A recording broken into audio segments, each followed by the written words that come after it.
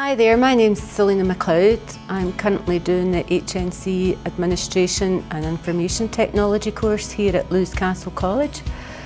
And the reason um, that I decided to come and do this course is basically just to update my skills.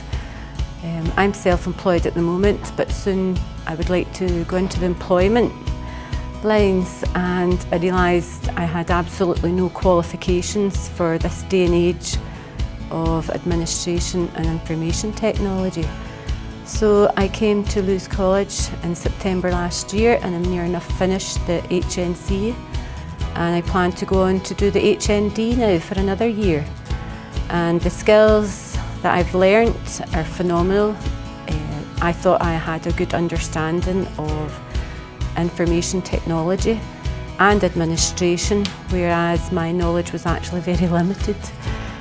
Um, but I have came away from this course with a wealth of knowledge. I feel well placed to be part of somebody's business and carry out the skills efficiently now for them.